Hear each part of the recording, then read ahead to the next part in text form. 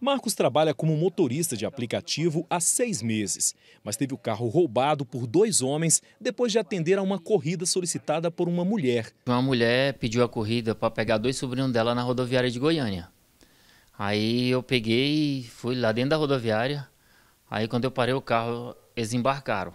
Durante o percurso, esses dois homens pediram para que o Marcos mudasse a rota.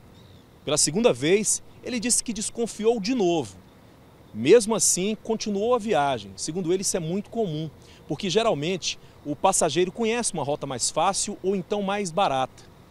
Foi aí que, de repente, os homens pediram para que ele encerrasse a viagem, num ponto abandonado e vazio. Nesse momento, eles anunciaram, com arma na cabeça do motorista, que se tratava de um assalto. Os dois homens, então, levaram o carro do motorista. Depois que o carro foi levado pelos bandidos, Marcos encontrou o documento do veículo e também a habilitação dele jogados no setor Negrão de Lima, aqui na capital, mas nem sinal do carro.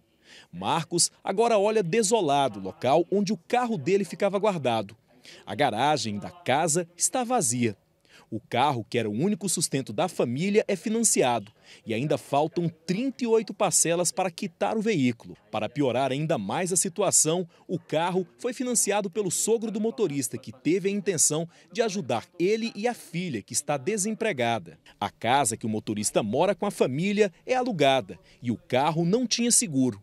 Agora ele não sabe como vai pagar as parcelas do financiamento nem como sustentar a família. Agora está difícil. Eu desempregado, minha mulher desempregada, né? A gente está tá aí sem saber o que fazer. Marcos conta que antes trabalhava como frentista em um posto de combustíveis, mas deixou a profissão por causa da violência. Ele foi esfaqueado por um homem porque não tinha troco na hora de abastecer. O motorista já procurou a polícia e fez o boletim de ocorrência. Marcos espera que alguém veja o carro por aí e o ajude a recuperar o veículo. Para entrar em contato comigo ou com vocês da, da Recop, porque a gente está precisando, eu preciso muito desse carro, minha ferramenta de trabalho.